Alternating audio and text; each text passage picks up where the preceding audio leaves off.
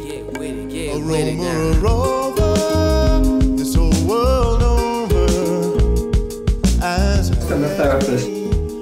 We have mentioned several times and we'll be mentioning over and over again those four words. What upholds your existence? as happy as me, you'll never see.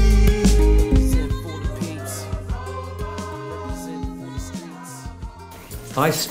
for my involvement in therapy back in 1965 when I became involved with a rehab facility called Daytop Village.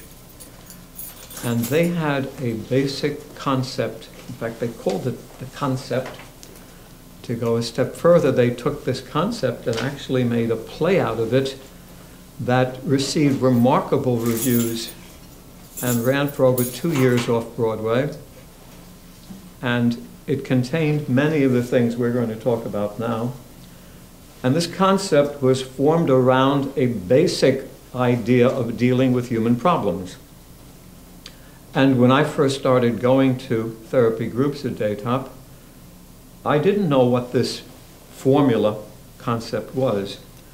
All I knew for certain was that something very unusual was taking place. There was a dynamic in effect there that seemed to be doing things that uh, were beyond explanation. Uh, I've got to mention again that this was a facility of 105 hardcore addicts, ex-addicts, who had been paroled or probated by state courts to Daytop. So we're talking about people who were considered the scum of the society, people who had committed every type of crime known to human beings, and had uh, spent a better part of their adult life doing nothing but stealing, copying drugs, putting needles in their arms, and laying up in prison. So here you have this group of people in this facility sitting around in a circle, dealing with problems in a way that was just remarkable. And you saw the change week by week by week. These people behaved in a way that made you think they were anything but addicts and felons. They were responsible, open, concerned, um, thoughtful, hardworking, all the things you would not expect from felons and addicts. And after about three or four of these sessions, I sat down with a young man named Carlos Baez and I said, Carlos, I know something is going on. There's some kind of a thing going on in this group setting. Um, can you explain it to me? Does it have a, an actual structure? And he says, Of course it does. It's a very basic structure. And he spent the next half hour going over it with me A, B, C, D, E, F, G. And uh, at the end of that half hour, I just uh, sat there and I shook my head and said, Why isn't this used everywhere? Well, why? This should be taught to children in school at the age of five and six.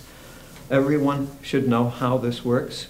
It's so basic, it's, a, it's almost simplistic. Mind you, it's not easy in terms of accomplishing what needs to be accomplished, but it's so clear and precise. If you follow it, it works. And this is basically what it is. A, what is the problem? Defining it clearly, not um, as something confusing, something that uh, you can't quite grasp, but what is the essential problem? Defining it clearly. I no longer want to be married. I want a divorce. I want to quit school. I need a new job. I want to shoot dope. I feel violent and uh, suicidal. Whatever it is, just define it clearly so it's no longer this thing that you can't place your fingers on. Two, B, what emotions prevent you from dealing with the problem? And there are always emotions that prevent us from dealing with a problem, basically fear. When you talk to anyone about dealing with almost anything, what crops up almost immediately is fear. The fear of having to go through the changes, fear of um, what people will think, fear of changing your life in a way that will be uncomfortable and new to you. But fear is the uppermost thing that prevents us from dealing with human problems. Um, three, what practical elements prevent you from dealing with it? Sometimes there's a practical part of it. Most often it's primarily emotion, but there is also the practical. I recall um, a man who came to me, and he wouldn't tell me what he was coming to me for over the phone, but when he got here, he turned and he said, uh, I'm a chef. I'm an excellent chef, a sushi chef. I hardly ever pronounce that right, sushi chef. And um, I love my work, I love cooking, but I can't stand working for people in the restaurant business. Um, they are not caring, they're not, uh, um, they don't compensate me properly, they don't show me the respect I deserve. I want my own place. I said, oh, is that why you're here? He says, right, I want to have my own restaurant. I said, okay, well, how can I help you with that? He said, well, I need $125,000 to open a restaurant. I said, okay. And, um, and he said, well, I'm hoping that somehow hypnosis could help me get the $125,000 to open the restaurant. I said, well, that's a long stretch. I, I don't think there's $125,000 in, in hypnosis in that way. I said, I think what um, you might do is work on such things as confidence and learning some business skills and uh, you know, developing the ability to um, raise the money you need to open your restaurant. He further explained to me that he had terrible credit, had no money saved, etc. So um, we used hypnosis to deal with those issues and some pr very practical things, uh, getting a business card, um, going out to the people in the restaurant who were eating his food and talking with them, um, getting to know them, um, giving them a business card, building a, a, a, some relationships with people who might be interested in investing in the restaurant, opening a little bank account, you know, and putting a little money at least a week, every week in there. Um, so he went about this program, and uh, about, oh, maybe a little under two years later, I got an email from him inviting me to his new restaurant. Um, so sometimes there's the practical. He didn't have any emotional conflict about this. He was a, a risk taker to begin with. He wasn't afraid to do what he wanted to do. But he needed $125,000 and didn't know how to get it. So what is the problem? Define it. What prevents us from dealing with it? The emotional part and the practical part. Dealing with the emotional part. Getting in touch with the fear or whatever emotion is involved.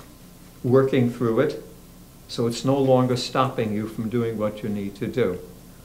Um, this is a story I'm sure I've told before, but it's appropriate for this. A wonderful friend of mine, Cass McGowan, came to um, groups with me back in 1969, and she was a, uh, first impression I got of her is that she was intimidated by people in general, very shy and um, not into herself, but had a hard time of just openly expressing what she was feeling. And we asked her what she was there for, and she said, well, and she went along to explain that she had been working at an insurance agency for about nine years and didn't particularly like the job because the boss was a, a terrible person, um, wouldn't speak to any of the people that worked for him. He would uh, tell them to send a memo or email them, but he wouldn't actually talk to them. And then he had called her into his office and told her that her supervisor was going on, mat on maternity leave for six months and simply looked at her and said, you will now take over her responsibilities, and that's all. And he dismissed her. And so she described this and how humiliated she felt about the way he had gone through this whole process.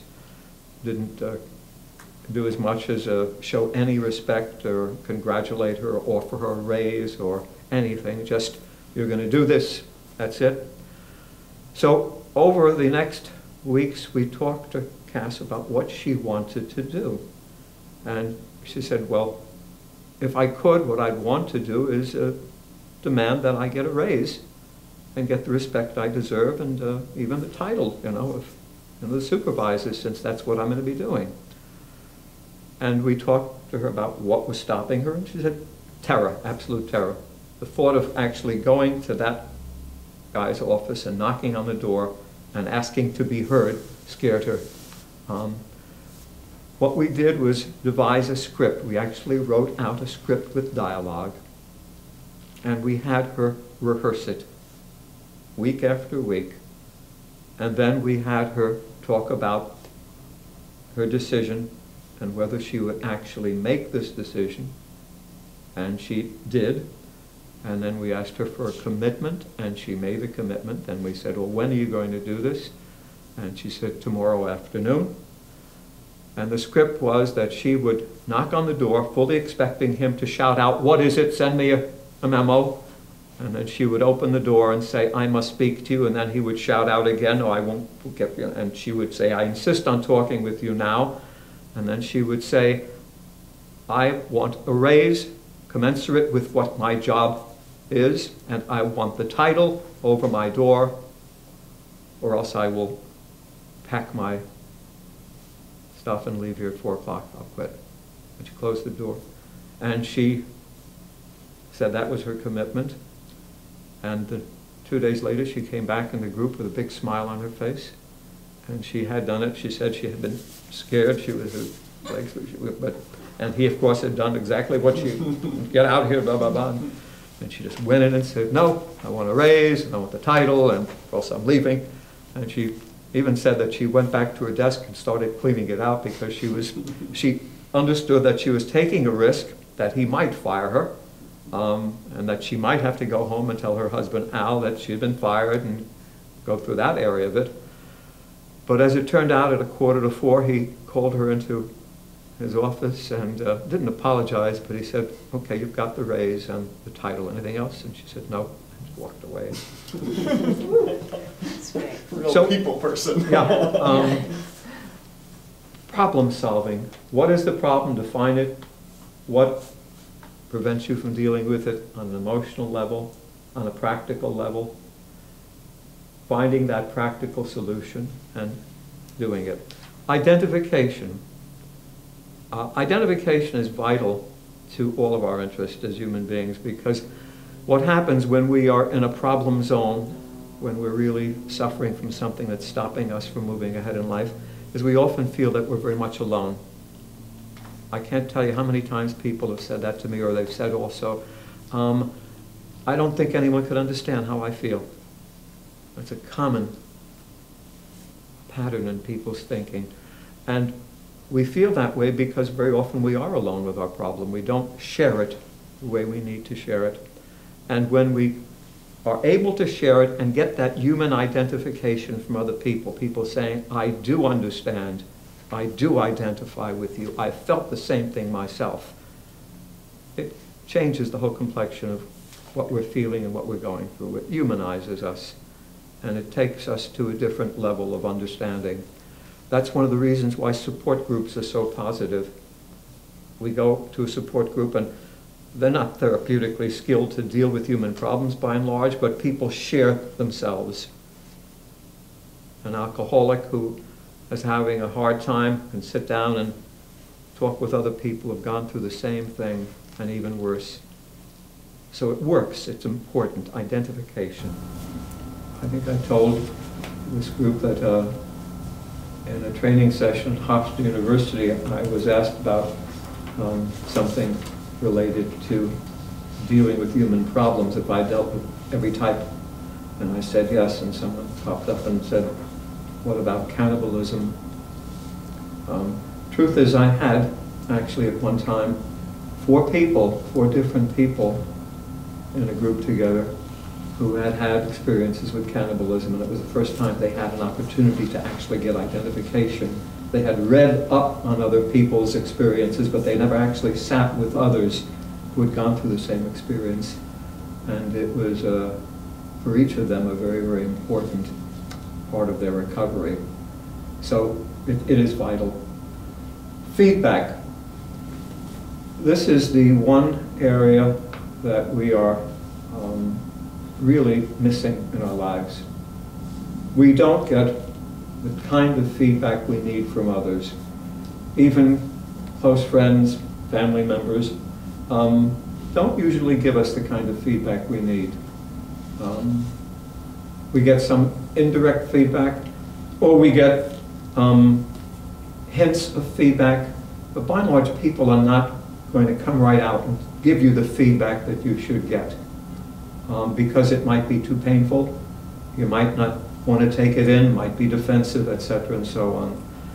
I know that the first time I received feedback at Daytop, it floored me.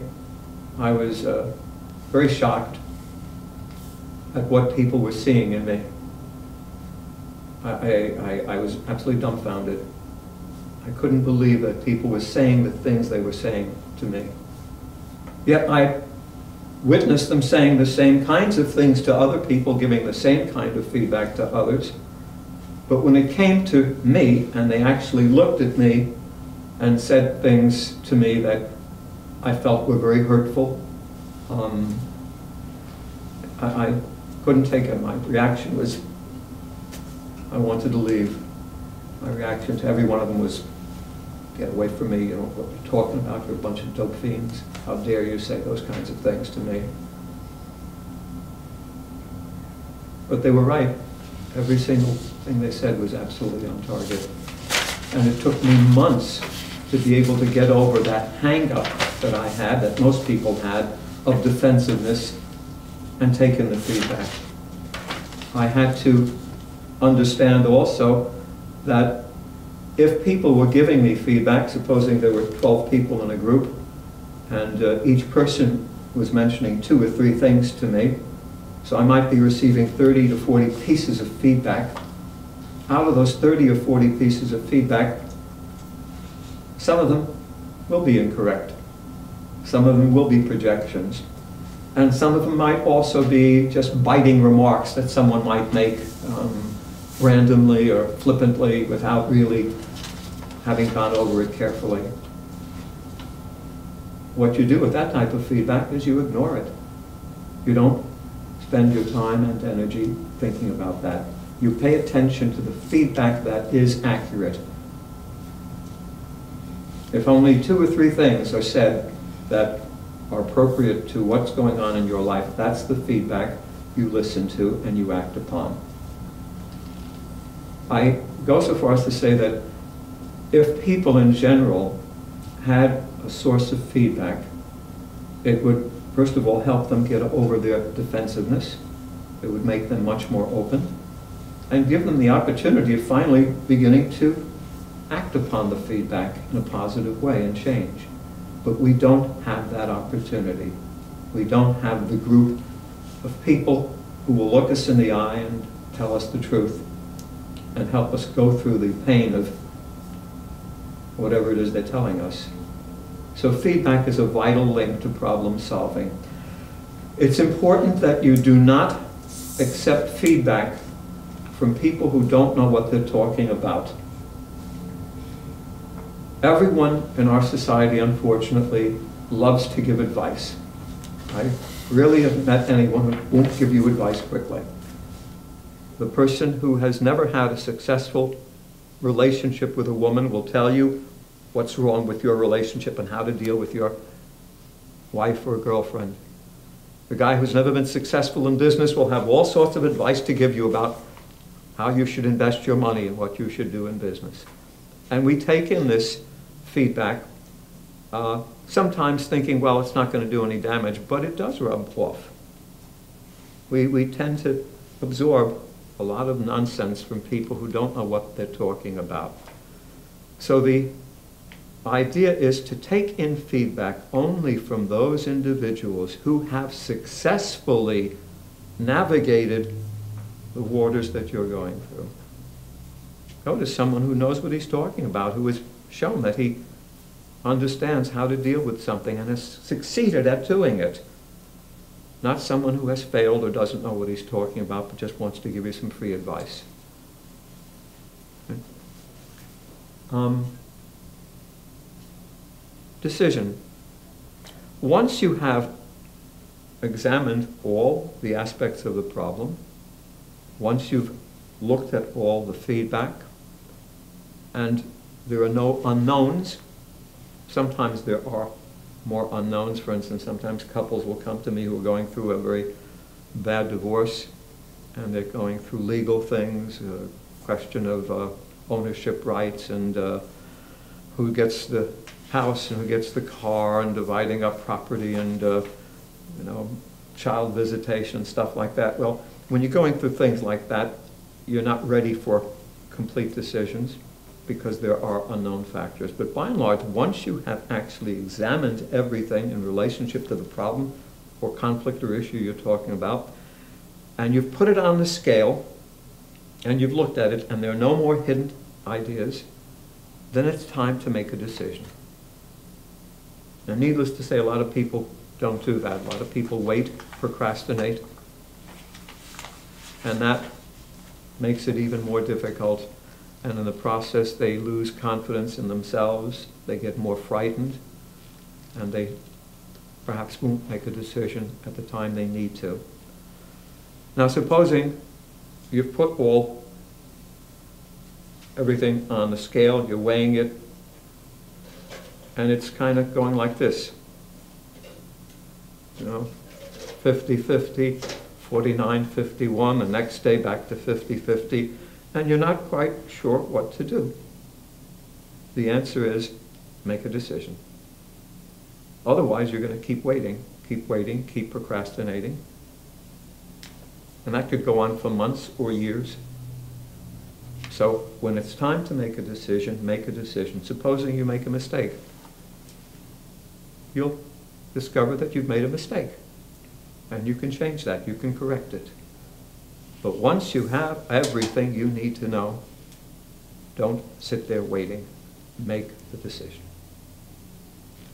Can I ask you now? Yeah. uh, So for identification and feedback, you can get them from separate people, or you can get any of these parts from separate Yeah. people. Wherever those sources are, as long as they are people who understand what they're talking about. There was a wonderful guy that my husband and I went to, and when he approached something like that, he'd have us write on the board how, what was good about it and what was bad about it. And when it's down, when it's out on paper, it was much easier to look at rather than trying to do it in your mind. I couldn't agree more, absolutely. Write it out. Um, in Hollywood, whenever you work on a movie, you have your script, you have your working script, you have a shooting script, and you have individual scripts for each person. You also have boards in which you can actually see each scene. They're drawn up so that you've got the visual idea as well to work with storyboards. So those things always help tremendously.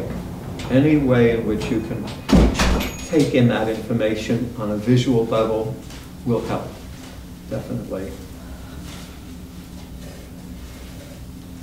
What is the problem? Define it.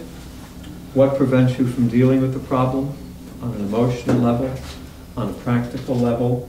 Deal with the emotional part of it, express the feelings, get in touch with them, and if you have to work through them, as my friend Cass had to rehearse and practice in order to be prepared to express those feelings, do that.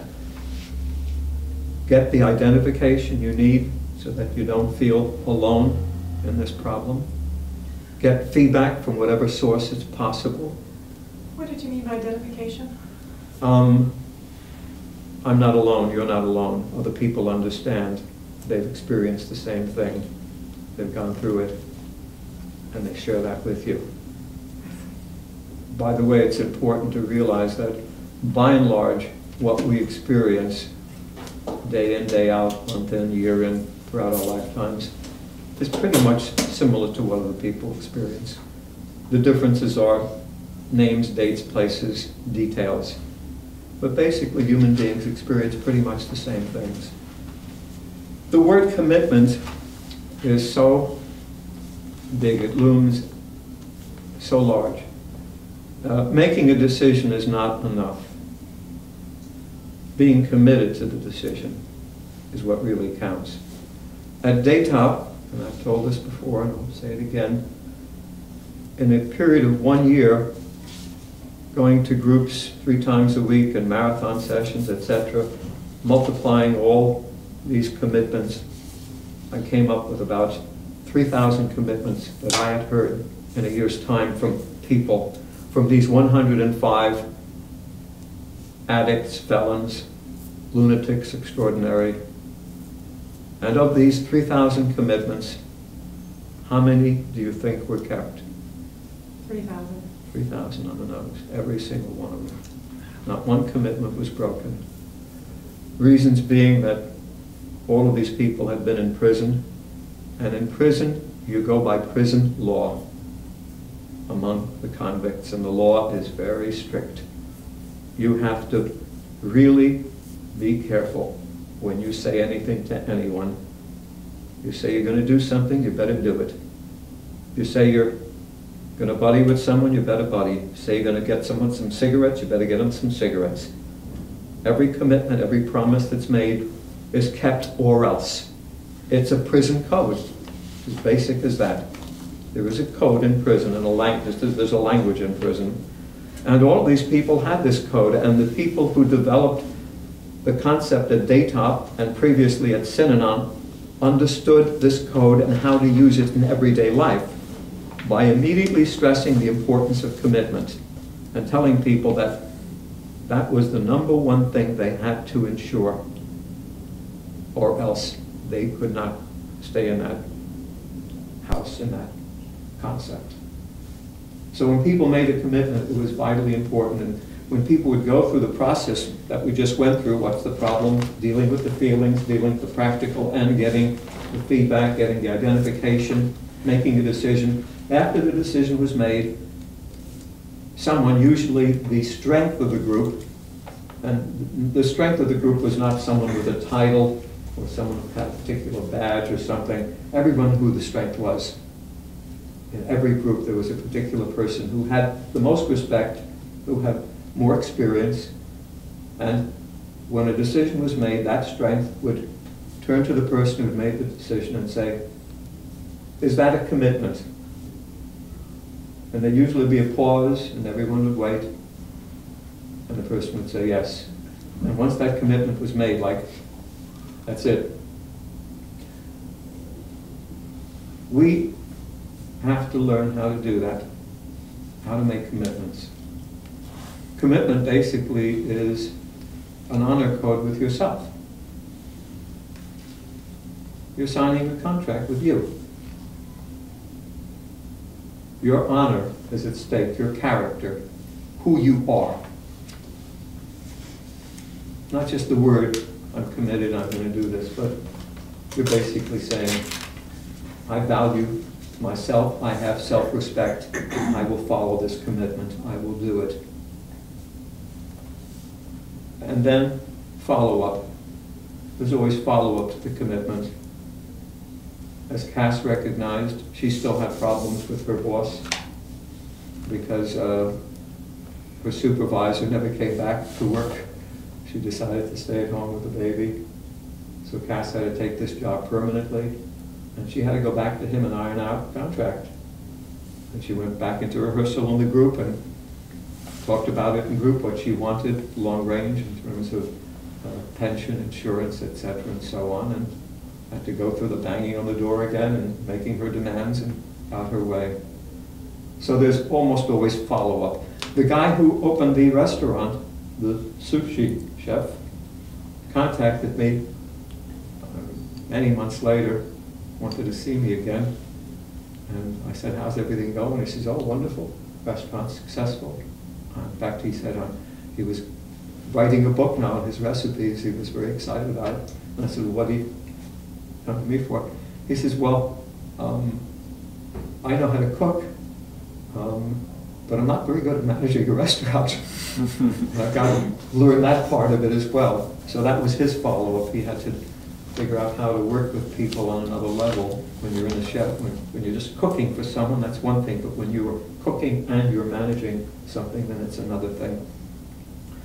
So that is the basic formula.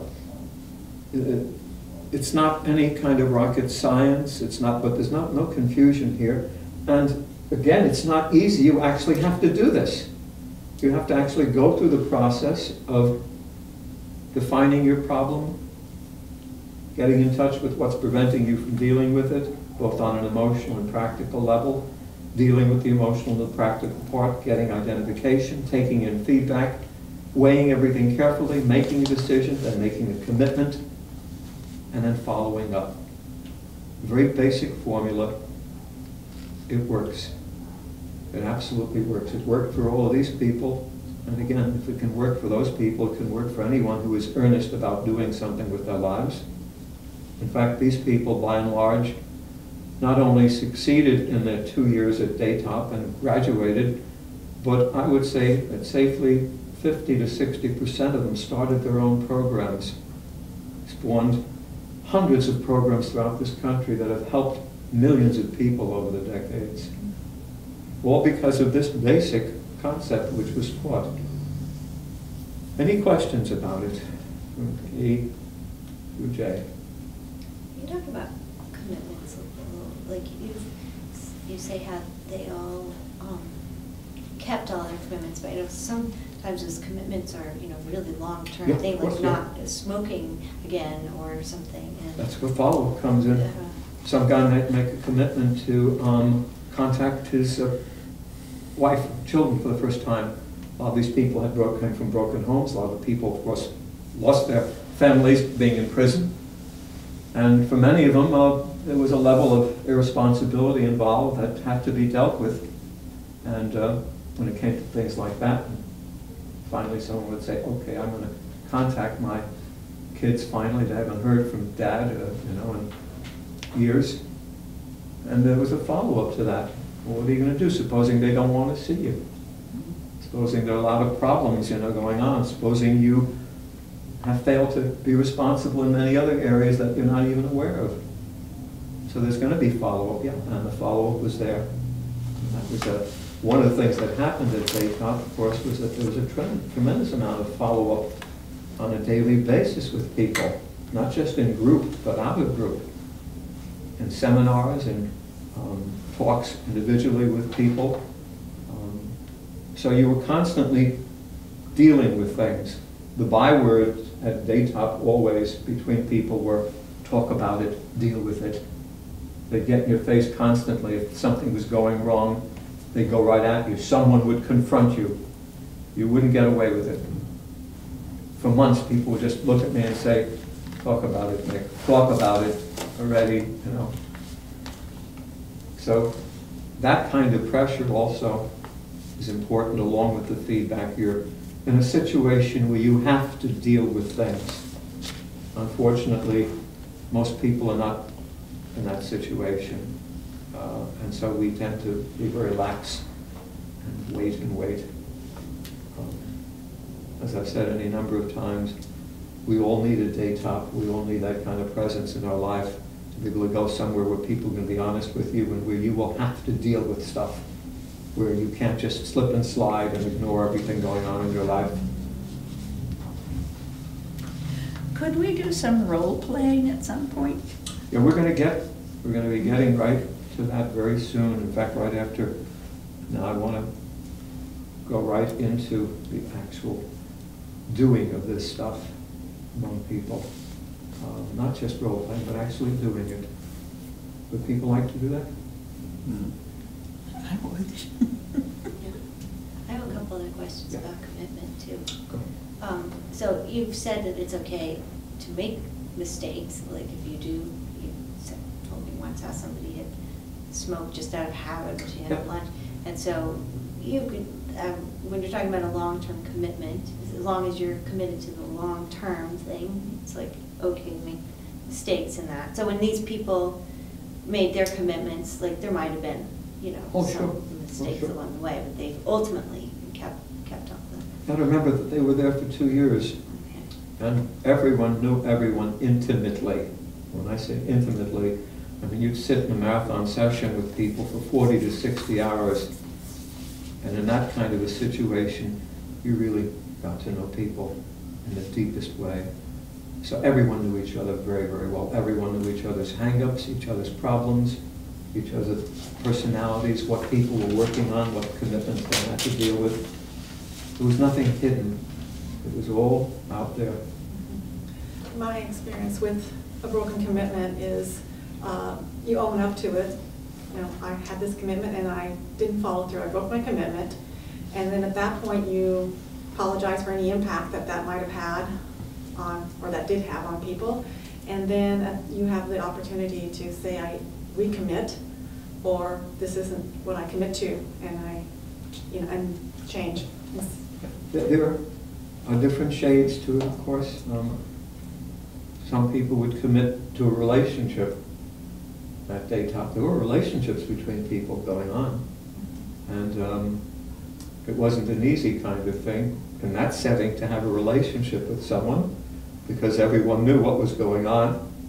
And if something was wrong, they would be confronting each other in a group, or others would be confronting them. Um, Pulling covers was another term that's being always used at Daytop. If uh, someone was not dealing with something, a couple was not really following up on commitments they had made, someone would pull their covers, would expose it. You know, just look at them and say, hey, what's going on with you two? You made a commitment to really deal with X, Y, and Z, but I watched you the other day, you two got in each other's face and said, no, I don't want to talk about it, and you walked away. So people would pull your covers, another great advantage, because that doesn't happen to us. We get away with our lies and our games, and no one pulls our covers unless they're trying to hurt us, perhaps. Oh, I have one one Sure. other question about it. Um, See, one day you told a story about how, when you, about when you quit smoking, that you had first said that you were gonna cut back and this whole plant. But that that, that, like, they confronted you and said, that's not a real commitment. Like, The only real commitment is They to- pulled my covers completely, Mhm. yeah. So my, I knew that it was important to model for other people. And whenever I started a new training program, which happened every year, I always began by talking about my essential problem or conflict. And after a number of years, I had, I didn't have a major one that I was dealing with. So I sat up the night before the training session trying to figure out what I would talk about. And I sat there smoking, at the time I was smoking four packs a day, and I suddenly looked at the cigarette in my hand and said, wow, that's it, that's what I'll talk about. So what I did, I devised a scheme, a script, that I would run on them. So the next day in the training program, there were 16 people. I said, um, I'm smoking four packs a day, and I realize that it's not a healthy thing to do. So I have decided that I am going to do a number of things to correct that. Number one, I'm going to immediately start cutting back. Number two, I'm going to acknowledge the fact that I have a problem smoking, that long-term it's going to be dangerous. I remember my father, you know, coughing and choking, you know, from all that, you know, nicotine in his lungs. Number three, I'm going to go back to some exercising to build up my health a little more. Uh, number four, I'm going to think long range in terms of in the future I'm going to have to quit. So I ran this elaborate little story, and uh, the people just looked at me, and some of the people nodded, sounds good. And one young 16-year-old kid named um, Harry, who had been coming to groups for a year and had been selected to be a member of the new coming staff, kind of looked at me and, and he just had this look on his face. And, and he looked at me and said, Nicholas, if I would have run that load of crap on you in a group, you'd laugh at me. And he really pulled my covers and left me, you know. And suddenly everybody recognized what I had done and kind of, and this kid just reached right over to my pocket where my pack of Viceroys was and slammed it on the floor and said, what are you going to do? And I was trapped. I was absolutely trapped. And I said, well, I'm going to quit. And someone else, when? um, right now, another person. For how long?